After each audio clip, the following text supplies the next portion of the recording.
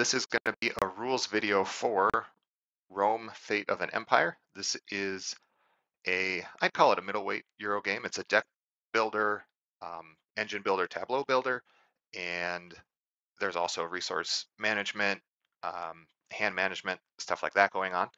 And uh, yeah, the goal of the game is to fulfill your edicts, which are specific goals you have to meet, as well as attain a certain number of glory points and you have to do that inside the allotted time frame, which will depend on your difficulty setting and your um, game length that you choose.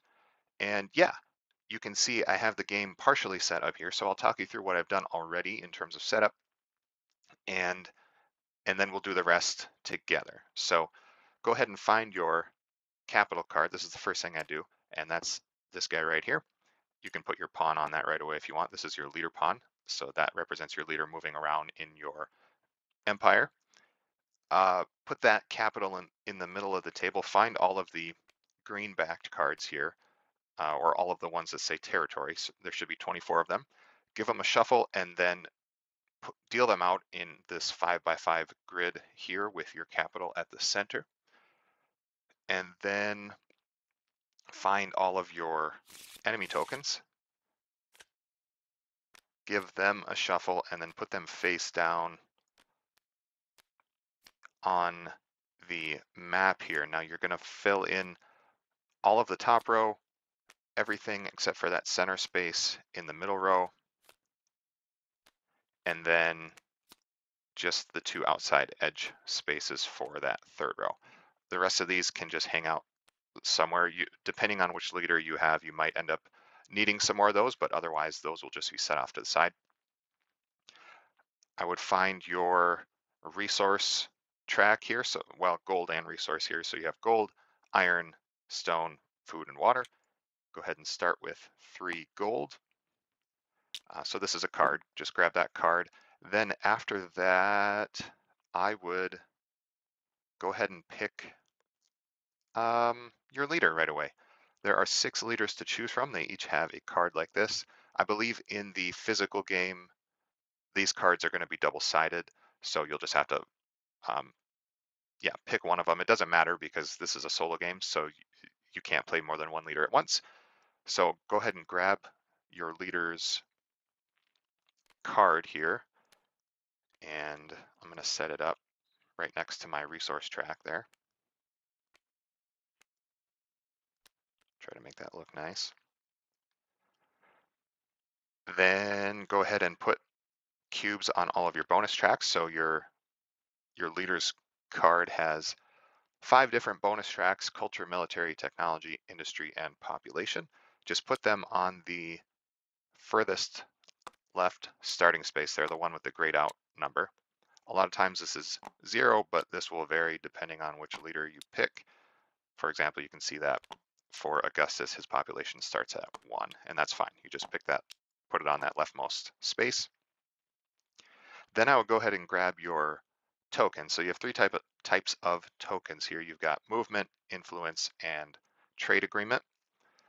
Uh, just grab four movement tokens. That's what every leader gets. But then to know how many influence tokens to get, reference the technology track here. And below that track, there's little icons here with numbers showing you how many resource tokens you get based on where you're at on this track.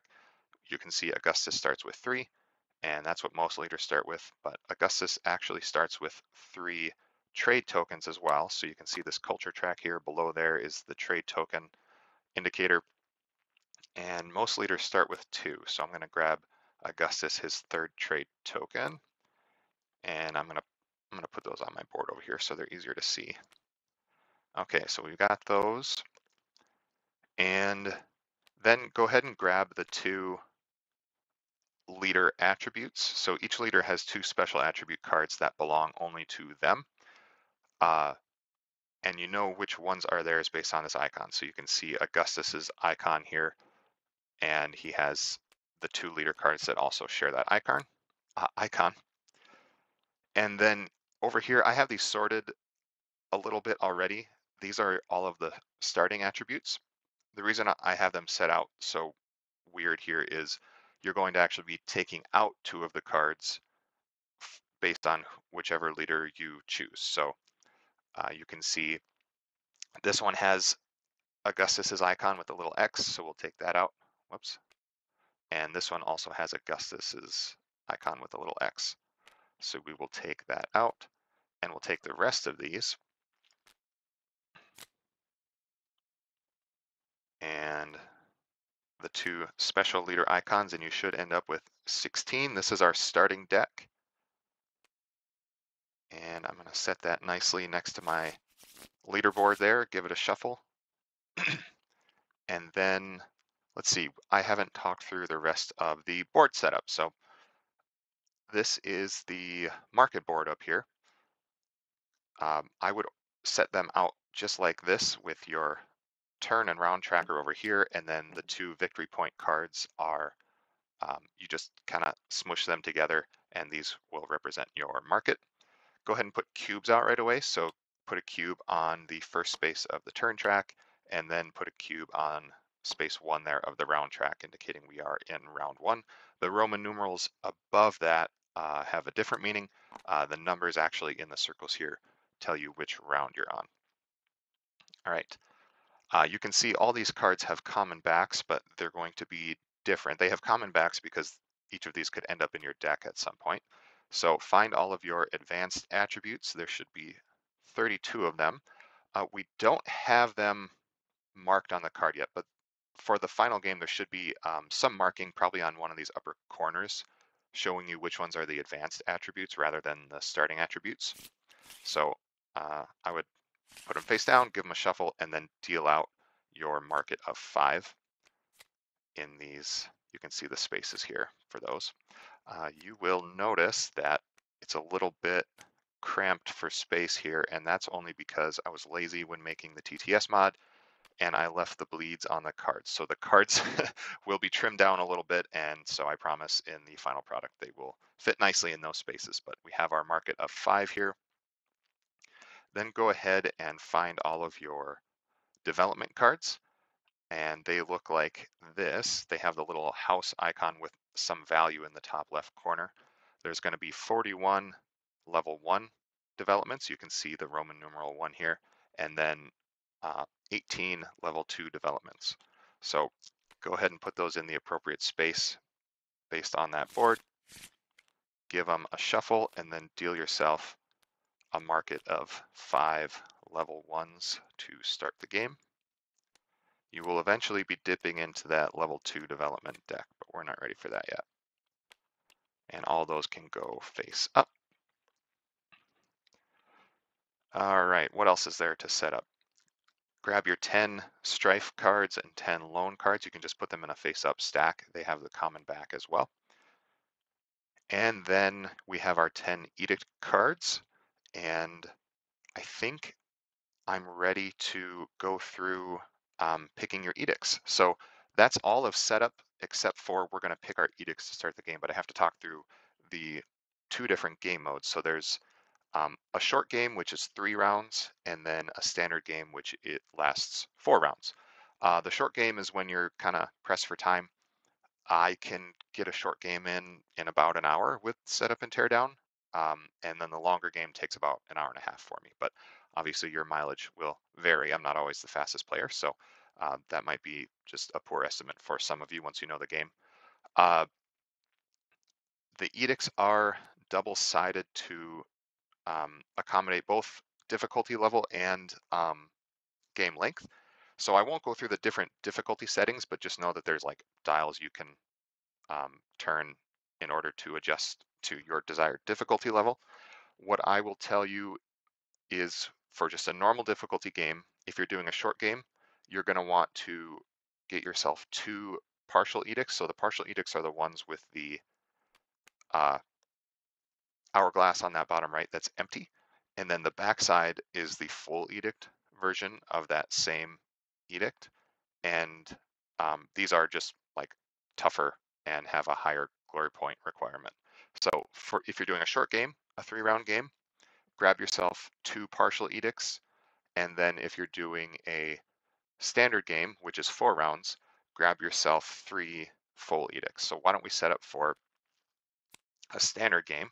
And what I'm going to do is flip all of these to the uh, full edict side, give them a shuffle.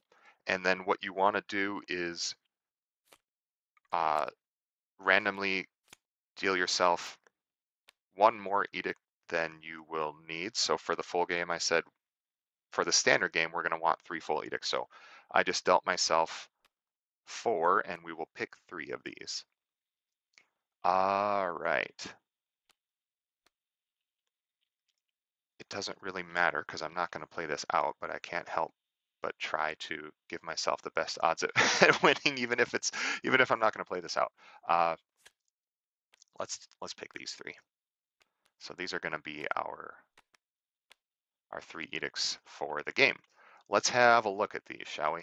Uh, an edict is going to have a name at the top, and it's going to tell you how many glory points you need to attain at the bottom. So that's the number in the little wreath there. So this 19, 18, 25. Uh, this on the very bottom left, that's just a reference number. You can ignore that for the purposes of the game. And then the meat of the, the card is in the middle here. And this just has an extra requirement that you need to fulfill. It's basically goals that you need to complete by the end of your game timer. So since we're playing a standard game, we have four rounds to get all of this done. Um, with a normal difficulty standard game, we actually only use the two higher glory point requirements. So I'm going to sort these by that. So since 18 is the lower glory point requirement, we're going to ignore that and we're just going to need 19 plus 25 and I'm not going to do math on camera, but whatever that total would be, that is how many glory points we would need to have attained by the end of the game. And then we also need to achieve all of this stuff in the middle here. So this one says build at least five level two developments. That sounds tricky. This one says build four developments without using any cards boosted actions. That doesn't make sense yet, but it will. And then you can track your progress on these with a cube if you would like. Uh, same for these. So many of the edicts require you to build something in multiple stages. Uh, this says build the fountain. What I would need to do is on separate turns, I can't do more than one stage on the same turn. So on separate turns, I would need to spend five water and then I could cover that up. And then I need to spend six water, I could cover that up, and then eight water on some other turn. And now I've completed this portion of it, and I also need to um, complete both of those. Same goes for building the Roman wall here. And then it also says build all territories along the southern border, which would be those territories down there. Okay, so we have our edicts. Uh, yeah, let's explain the game. I've got my rules document pulled up on my other screen so that I don't get too crazy with the order of operations here. I will maybe just explain component anatomies as we go, just so you're not hearing everything and then you're supposed to have to remember what everything is when we get there. So we'll just do that as we go and I will explain keywords as we go. So I'm just scrolling past that. Okay, gameplay, how do you win? I've gone through that. You have to complete all your edicts by the end of your round timer.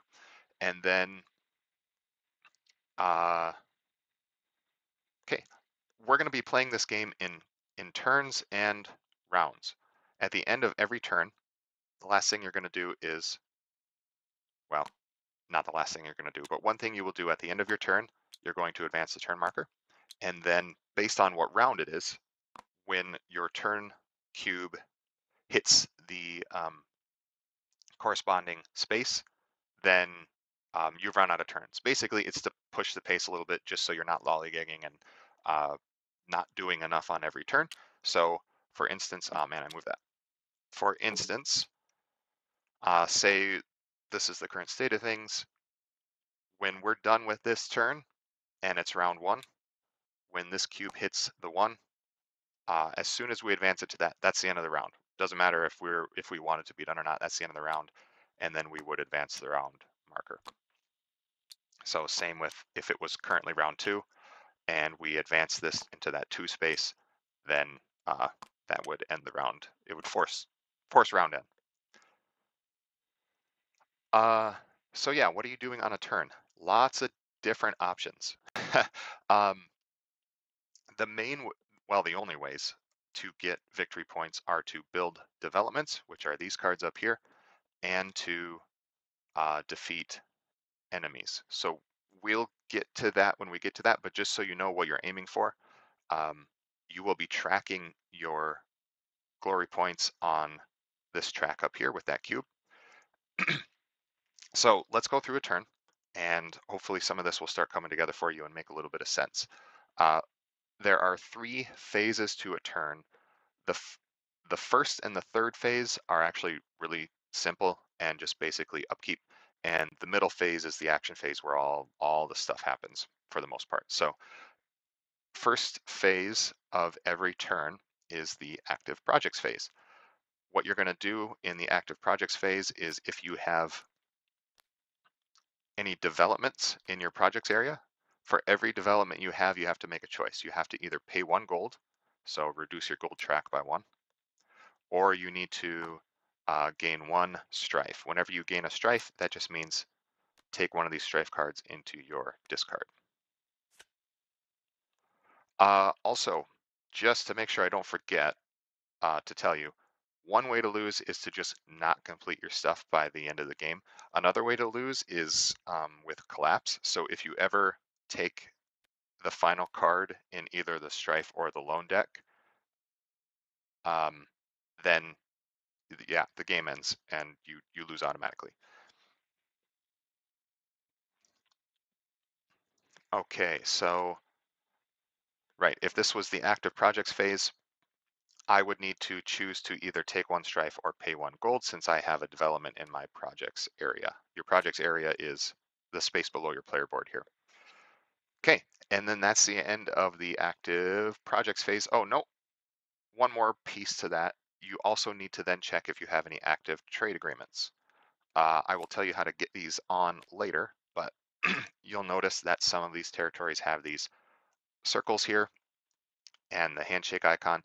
That's because there's opportunity for a trade agreement with this territory. If you have a one of these purple tokens on either the level one or level two trade agreements, so on either side of here, then you get the benefit uh, of the trade agreement. And I'm realizing that none of the level one trade agreements actually have any effects that carry over more than immediately. So um, well, actually, no, this one does over here. So occasionally that will be the case. So check if you have any active trade agreements, gain the stated benefit, and I'm, I'll talk through those more fully when we get to getting trade agreements. But um, that's what you would do, and then that's the end of the active projects phase. Moving on to the action phase. This is where all the stuff happens. So it's a pretty, pretty open-ended thing. I'll just go through all of the different actions that you can take, and then you're free to like take all of the actions that you want to take um, as long as you can still do actions. Most of your actions are going to be card driven, but not necessarily all of them. Uh, so first thing you can do, actually at, at setup, we should have drawn our first hand of cards. You need to abide your hand limit, which is noted by your leader's military track uh, your military bonus track. So you can see our hand limit is five. As soon as we get here, um, our hand size would be six and so on. I also should tell you that each of the leaders has one or more abilities and they just do what they say. So City of Marble here, for instance, says it costs plus one gold to buy developments. Um, so this is one of Augustus's special rules. Um, usually there's a mix of good and bad abilities. Likewise with um, the special leader cards, usually one is good and one is bad.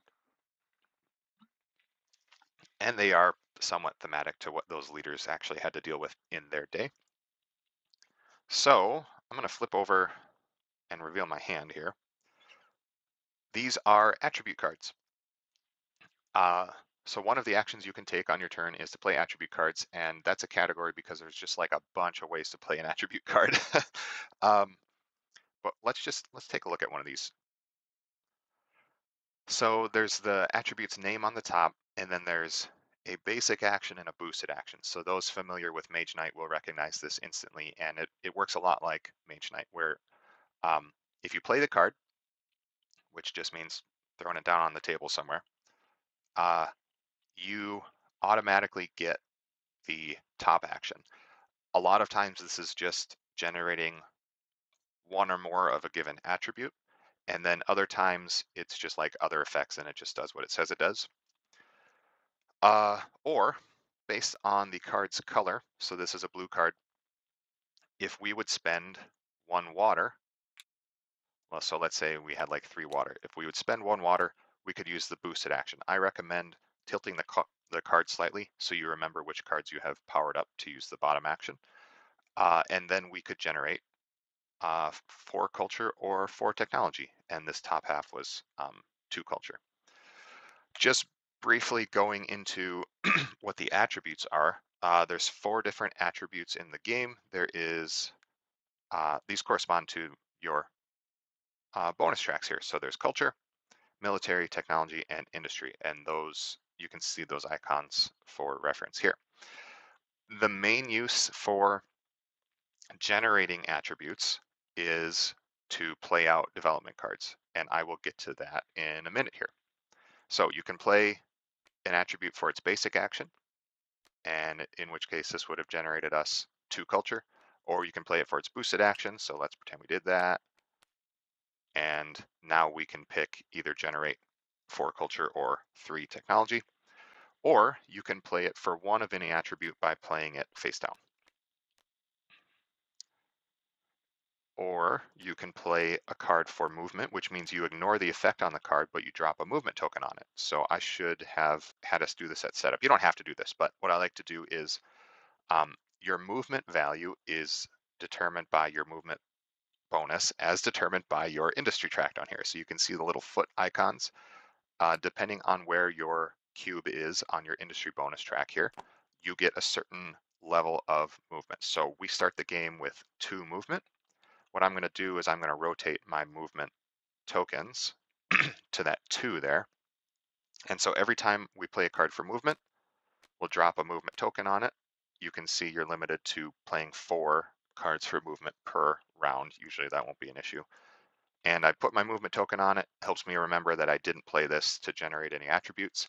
And I get two movement. And if I want, as I spend that movement, I can rotate this. It's a little easier to do in person to um, remember how much movement I have left. A lot of times it just goes fast enough. You don't really need to do that. You can just remember and, and spend your movement. Uh, moving.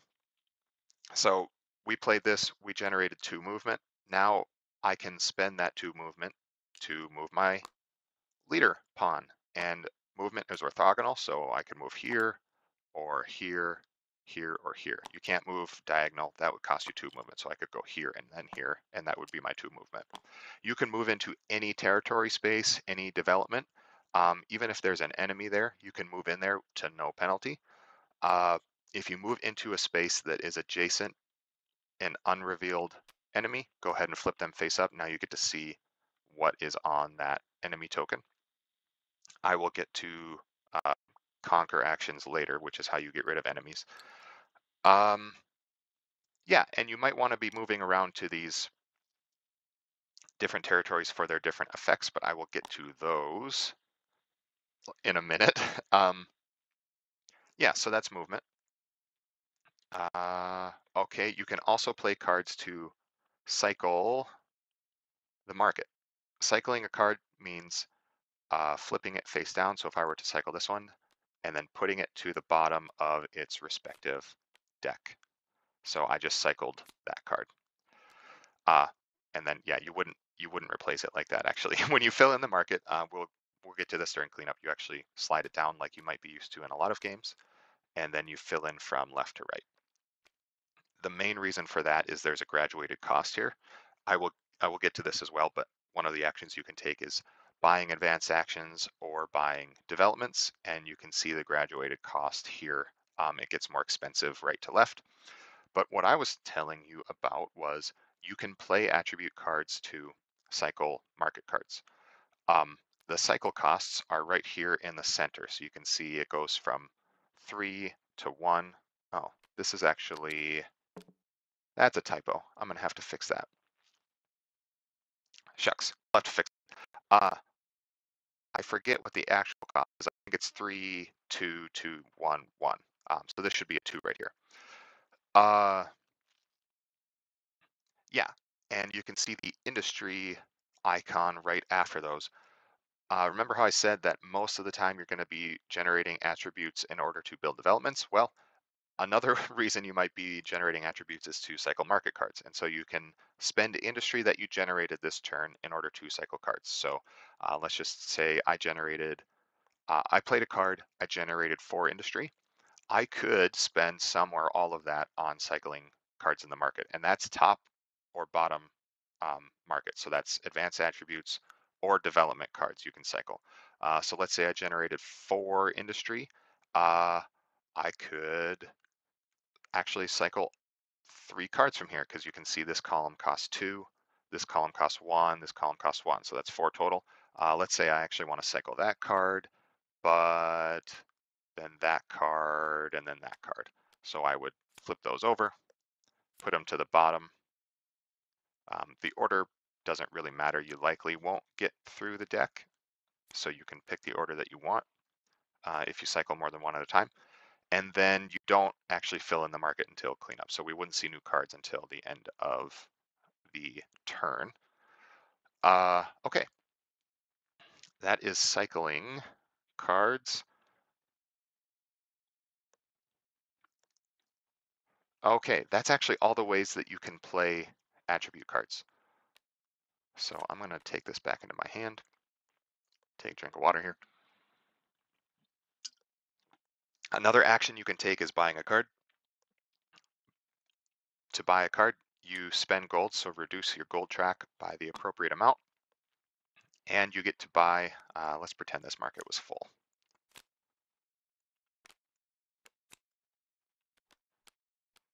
A little bit cramped over there. Okay. The costs are written here, so one, two, two, three, three, and two, two, three, three, four uh, you can see developments are just a little bit more expensive than advanced attributes. Uh, so let's say I spend one gold and I buy this advanced attribute, and let's say I spend another three gold and I buy this development. Okay. When you buy advanced attributes, those uh, you flip over and you put it to the top of your deck. So you will draw that next hand. Or if you have some card draw effects, you could potentially draw this turn when you buy developments, you have a choice of where it goes. You can put it into your hand, in which case it actually takes up a space in your hand. So you don't have to discard down to your hand limit, but um, this would take up a space for like when we're drawing cards for next turn. Uh, so you could put it in your hand. That is a good option if you don't feel like you can build it right away and you don't mind it taking up space in your hand. Uh, or you can put it in your discard in which case you are basically committing to not seeing it until next round because you'll shuffle up your deck once per round. Um, that might be in the case of, well, I really, really want this development, but I know I'm not going to be able to build it this round. You could put it into your discard. Or the most common is you can put it into your uh, projects area right away. If a development is in your hand, at any time you can just freely put it into your projects area. And the reason you want to put it here is um, well, you can leave it here, but remember during that active projects phase, there's a penalty for having active projects. Um, more, most commonly, you're going to put it here and then you're going to build it right away. And so to build a development, we're going to, uh, right, we just went through buy a card. Now we are on to build development. I'm just following along on my rulebook. You have to look at this top left information here. So this is telling us that we need six technology in, in order to build this development. So I would look through my hand. Okay, I could generate three technology. So I'm gonna uh, I'm gonna play that card for its boosted action. So I'll spend the water to boost that. And then do I have any other technology in my hand? Uh, yeah, I have this one, but I don't have any water left. So let's say I really want it. So I'm going to play three cards face down. uh, for one technology each. And so I've generated three, four, five, six. I've got my six technology to develop this farm. What you do then is you rotate it uh, 90 degrees so that it's it's horizontal now. And you put it on top of a territory space that is adjacent to either your capital or to an existing development. So you're going to have to build out um, based on adjacency. And you also can't build on top of a territory that has an enemy. So that's one reason you might want to be clearing enemies is to um, leave room for development. So let's say I want to build it right here. Okay, now we have a farm. Uh, let me think. Be aware right away of there's some, here's an example of one. There's some territories that have this, uh, it's a, called a when conquered ability. And that is this icon that's like that um, castle tower that's exploding. And then um, th this name up here of the ability doesn't really matter. What really matters is what type of ability it is and then the effect. So all this means is when you develop it, so when I put uh, uh, development over top of it, then immediately I would get that benefit, which is gain one gold. So I'd come down here and I would increase my gold track by one. Okay, but we built it here. And now uh, not that I couldn't move into this space before, but my leader is free to move over here. Um, but immediately after building a development, update two things. So update your glory points. I believe every development, yeah, I can't think of an exception. Every development provides some amount of glory points. So that's that one on the top left there. I will just update my track right away. Yay, we're on the board. And then uh, most developments also provide some um, bonus. So these are things that affect your bonus track. So you can see there's the plus and then the technology icon. Uh, I would come down here and immediately update my technology bonus track. And then if I had moved into a space that reached one of these next icon levels, um, I would immediately, if it's one of these three here, I would immediately, um, well, if it's one of these two, you get a token. So if I moved into here, now I get four influence tokens instead of three. So I would go to the general supply. I would grab myself an additional influence token. And then if I had moved into a new space for a, another trade token, I would do the same thing. I would grab a trade token from the general supply, add it to my personal supply. Uh, if you move into a new um, foot icon here, the move icon, that is that just tells you how much movement you get for every card you play for movement. So I would just remind myself of this by rotating my whole stack of movement tokens. Now every time I play a card for movement, it would get me three movement instead of two. And then we talked about the military track. If I move into a higher hand size, uh, nothing happens right away, but next turn when I refresh my hand, I would get to have a higher hand size.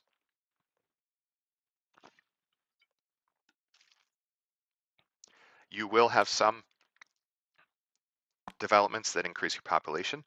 This has, you don't, there's no unlocks with this um, directly, but there are a decent number of cards and developments in the game that key off of your population.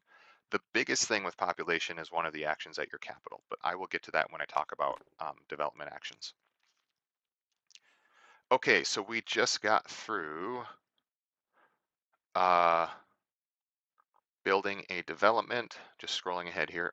so let's get into leader actions. Leader actions typically involve your leader pawn.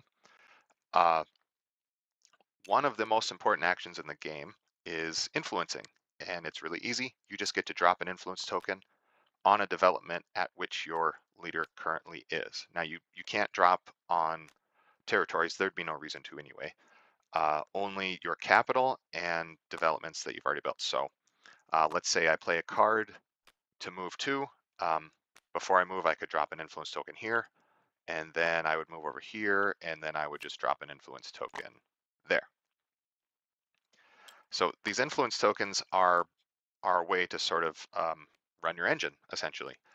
from influence tokens, you get to um, exhaust them, which is flip them over to the exhausted side, and then choose one of the actions on the development to go ahead and do. I will go through those in detail. Um, that's the most involved part of the game, so I will go through that in a minute here. But just for now, know that um, if your leader is on a development that does not already have an influence token, um, ready or exhausted, doesn't matter. Like I couldn't drop one here because I already have an exhausted one here.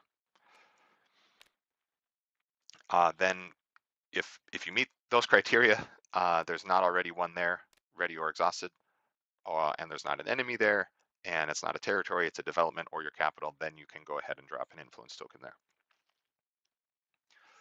Okay, the other thing, um, the other leader action is making trade agreements. So can't remember if I covered this at all yet, but these territories that have the uh, the ones with this handshake icon in the middle and like this X and then some amount of technology on, on the sides. If you move into a space, a territory that has a trade agreement option, which is, it looks like this, then you have the option of generating the appropriate amount of technology and um, creating a trade agreement. So let's just say I played cards from my hand and I was able to um, generate four technology. I could, if I wanted to, create that level one trade agreement. Um, so there's a level one on the left and a level two on the right. Level one is a little bit weaker, level two is a little stronger. Usually the level two is like recurring revenue, uh, but let's pretend we did the level one trade agreement. So I spent my four technology, I'm gonna drop a trade agreement token there, and then I just do what it says. So it says gain a stone now, uh, actually gain two stone now and end this agreement. So I would come down here and I would gain my two stone. Yay. And then it says immediately end this agreement. So I'm going to flip this token over to the uh, waning side, and then I'm going to uh, move it to the center.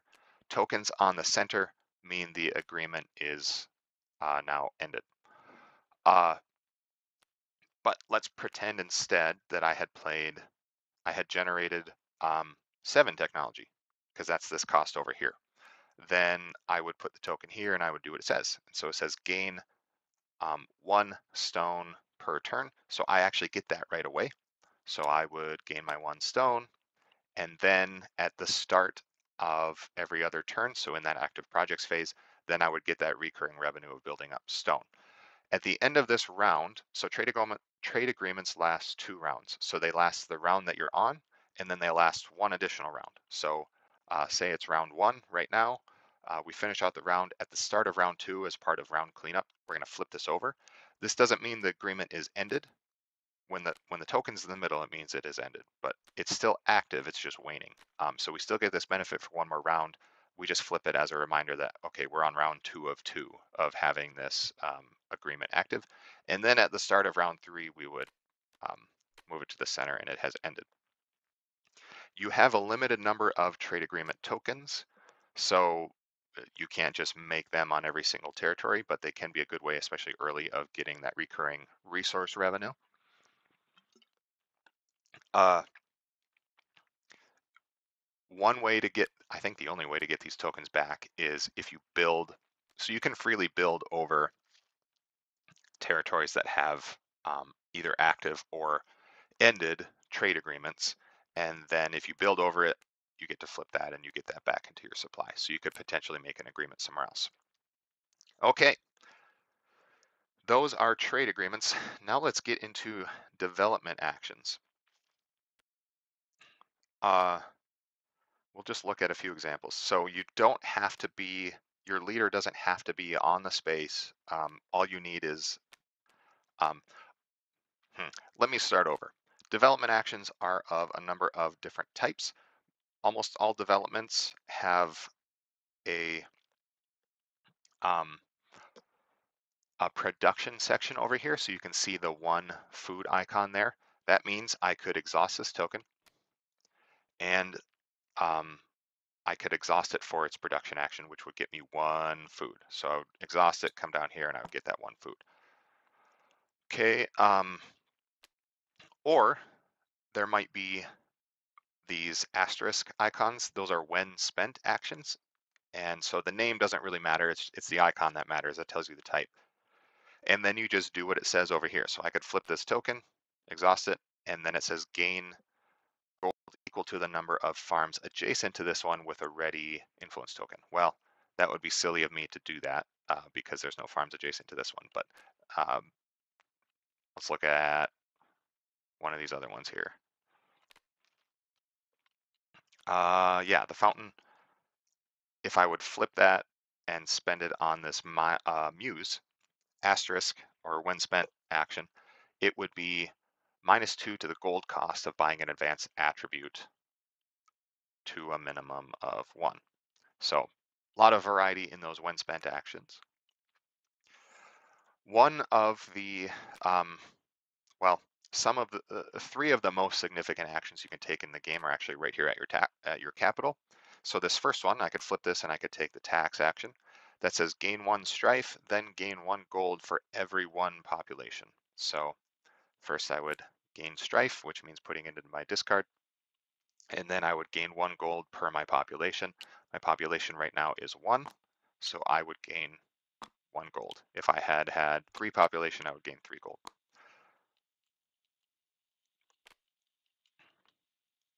Or I could take the borrow action here, gain up to two loans, gain two gold for each. So that would be, let's say I want to take two loans, that would get me four gold, which would take me all the way up to eight gold.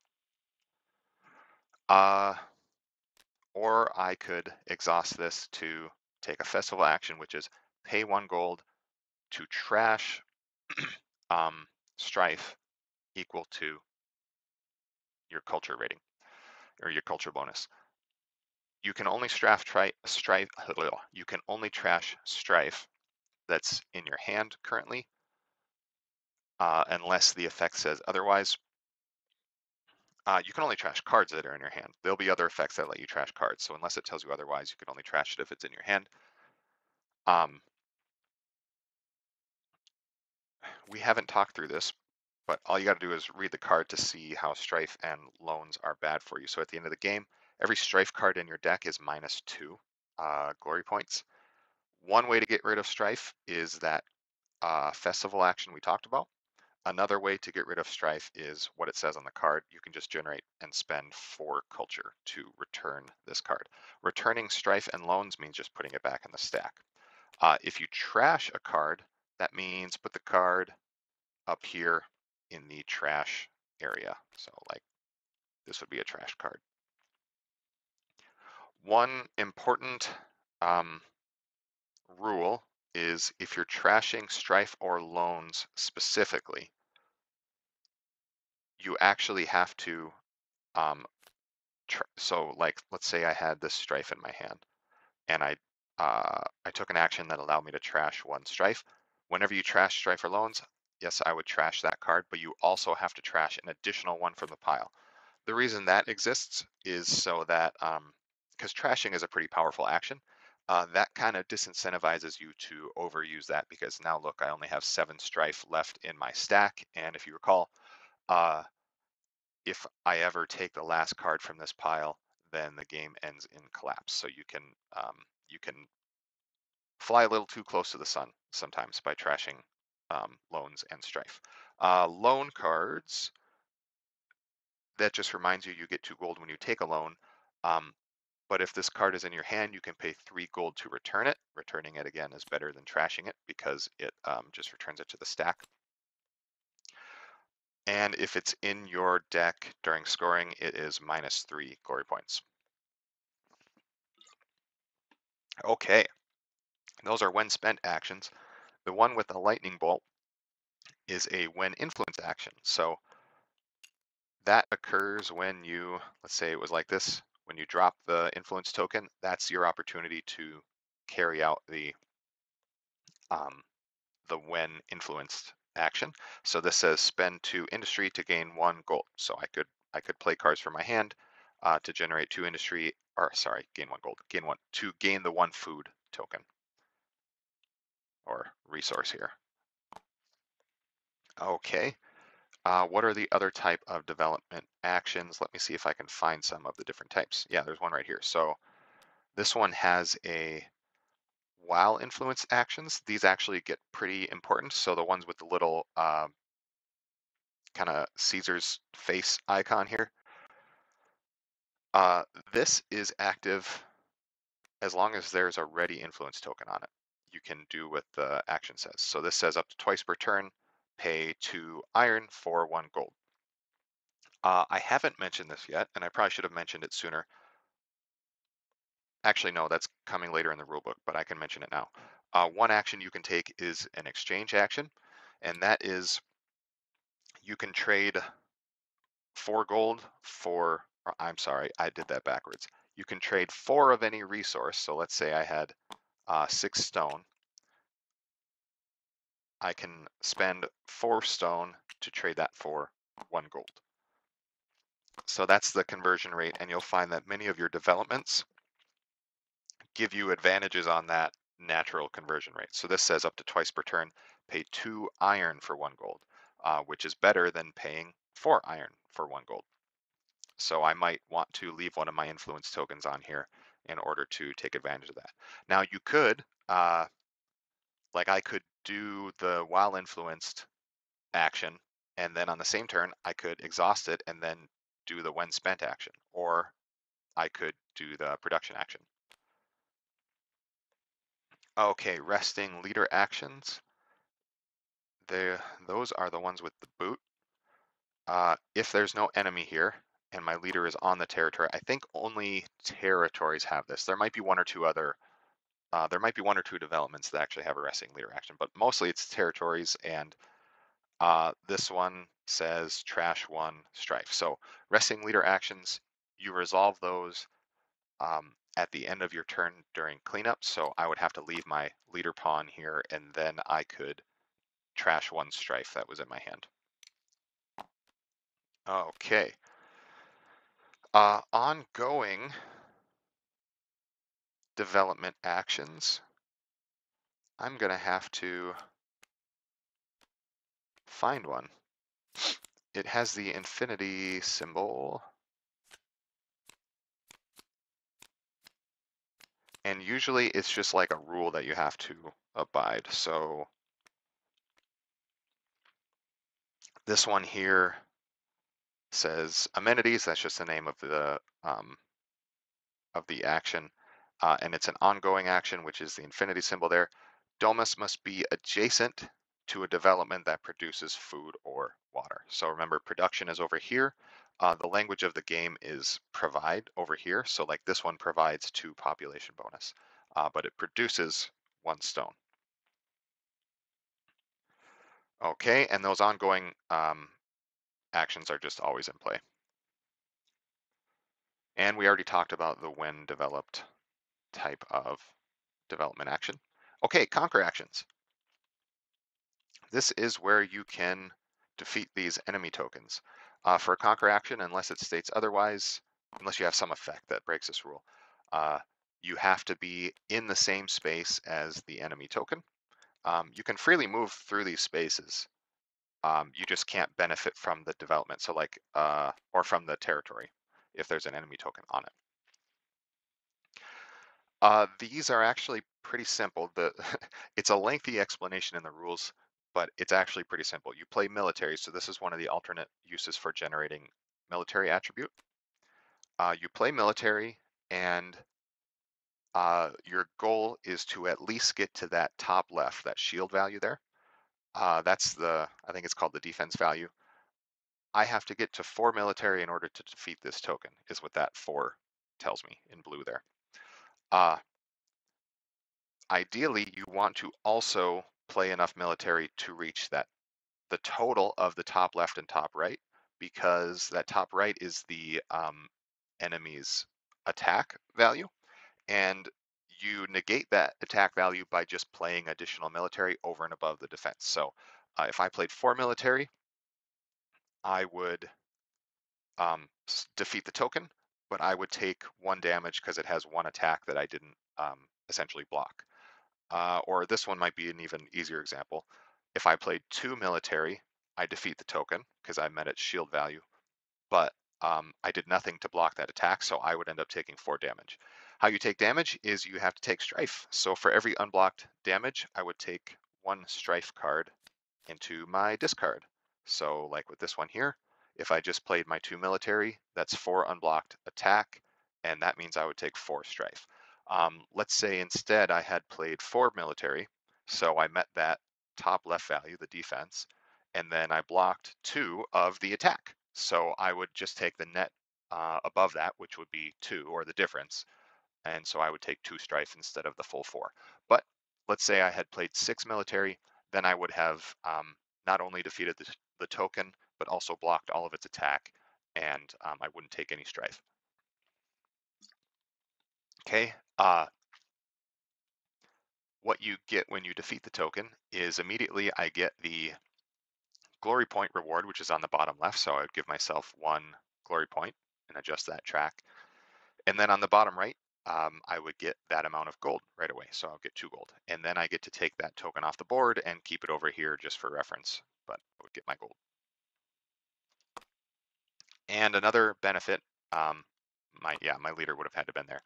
Another benefit is now this territory is free. So now I could build developments over top of it, or I could do this trade agreement. Uh, and since my leader is there, remember you get to reveal um, enemy tokens that are adjacent to your leader. Okay, those are conquer actions. Uh, another action you can do during your turn is return or trash strife. Uh, we went through that already. Um, just the text written on the card or certain development actions, specifically some of the actions on your capital. Uh, same for loans. And then we talked about the exchange, any same type resource. So that's some language that the game uses is uh, same type or different type. Um, so two same type resources would be two stone or two uh, food. Two different type resources could be like one iron and one food. Um, so the game will use that in some of its effects from time to time. But four same type resources you can exchange for one gold. And you can do that at any time. Uh, worth noting that this does not count as gaining gold. The game will use certain effects uh, that, that talk about when you gain gold, you know, gain this or that benefit. Uh, exchanging is not the same as gaining. Okay, we're getting close. Uh, those are all the actions you can take. So then when you're done doing actions, you can actually end your turn at any time. Uh, you could theoretically do nothing on your turn. Um, but when you're done taking actions or you decide you're done and uh, or you just literally have nothing else that you can do, uh, go ahead and do the cleanup phase. So this is, I have a, a few steps uh, written down here. First, resolve any resting leader actions. We talked through those. Then remove any spent influence uh, tokens from your empire. Uh, these are ready influence tokens, and this is spent, and now that one is spent um, or exhausted. I feel like I use that interchangeably sometimes. Um, so either one, spent or, or exhausted uh, influence tokens. So at the end of your turn during cleanup, if it was exhausted, it comes off the board, it gets readied, and it goes back into your personal supply. Okay, uh, discard any cards you played during this turn. So that includes cards you played for any reason. Played it face down, um, played it to generate an attribute, or even played it for movement. You would return that movement token and then go ahead and put all those cards into your discard. I don't know why I have two discard piles going there. Uh, so yeah, you just have the one discard pile. Uh, you don't have to discard your whole hand. So if you're coming from other deck builders, you might be used to just playing your whole hand and discarding it. You don't have to play your whole hand, uh, and you don't have to discard any cards remaining in your hand. You can if you want. Um, so you can optionally discard cards at, at this point. Um, typically you don't want. typically you want to play cards pretty conservatively or, or make sure you're getting the most out of every card play. Uh, then draw your next hand. So I'm going to fill my hand size to my military bonus, which um, I mean, I would have earned this at some point by playing developments, but uh, my hand size would be six, so I'm going to draw to fill my hand to six. That's four, five, six. And if you remember, we had purchased uh, this advanced attribute uh, last turn, so now we get it in our hands. The rest of these are starting attributes. Hey everybody, you may be noticing a little bit of a glitch in the matrix here, and that's because uh, in my original version that I cut here, uh, my audio cut out near the end. So the last 10 minutes or so were um, just, yeah, you couldn't understand what I was saying. So uh, I am going to pick up where I left off here. Sorry for that little bit of a glitch. Uh, let's get into it then. So we were just working on replenishing the market. We had just filled our hand and I'll show you how to um, replenish the market at the end of your turn during the cleanup phase here. So we're gonna move everything down as far as it can fill to the right, and then we will fill from the appropriate deck. And I believe I talked through the rules already for when uh, you unlock the ability to deal from the level two development deck. Um, so that is our market filled. We had no spaces up here. And so uh, that would be the end of the turn uh, filling the market. And we already filled our hand. So all that's left is we would advance the turn marker one space and you can see, um, well, so actually that's the end of the turn. So if you were playing a normal game, you would just jump into the next um, turn and then I will just tell you how it works when you hit end of round. So end of round is triggered in one of two ways. Either, since we're here, let's look at the turn tracker. Either the turn track hit the appropriate number here. So if you're in round one, when it hits this space, uh, that's immediately round end. So like if we were here and the turn ended and we had to advance the turn marker and it hit that number one there, that means the round ends immediately. You don't get to play another one.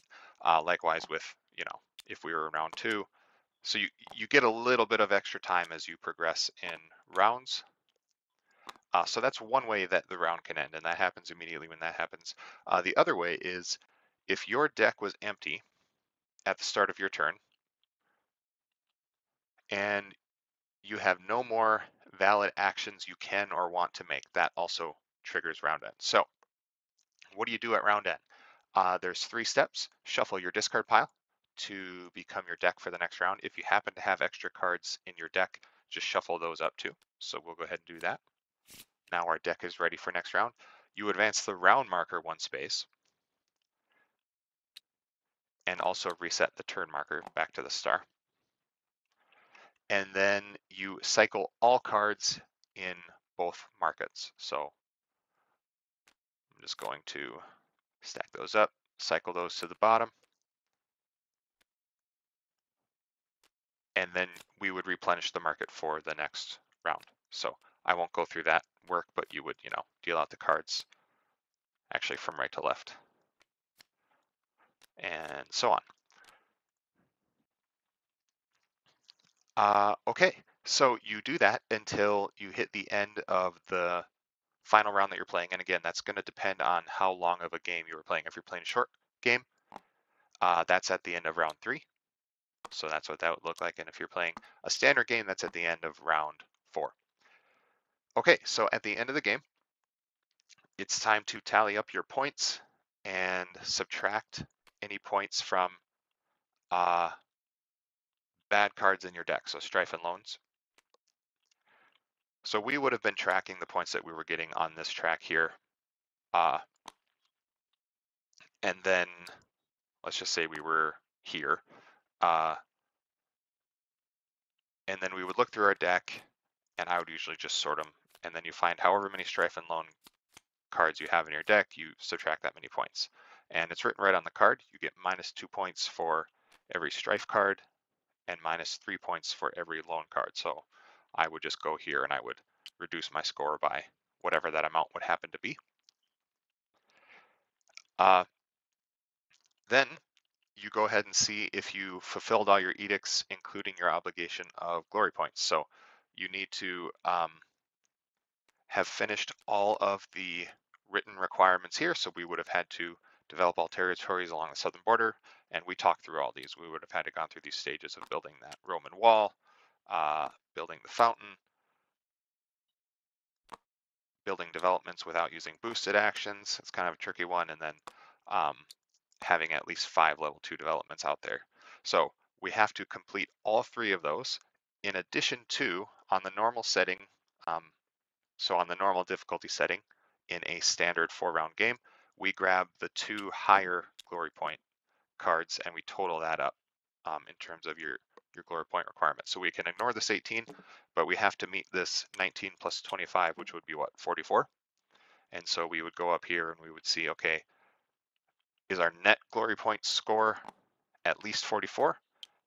And if it was, and if we had met all of our other edict requirements, then we'd win the game. But if any one of those things is not completed by the time you hit round N on your final round, then you lose the game. So cool. Yeah, like I said, I didn't have that much left. It's unfortunate that my audio cut out, so hopefully that wasn't too jarring for you guys. But uh, yeah, I also apologize. This is a long video. Um, I, I wanted to make sure that you had all the rules. So if this is what you were learning from, I wanted to make sure everything was clear so you had all the rules. So um, thank you for getting through it, and I hope you guys uh, enjoy the game.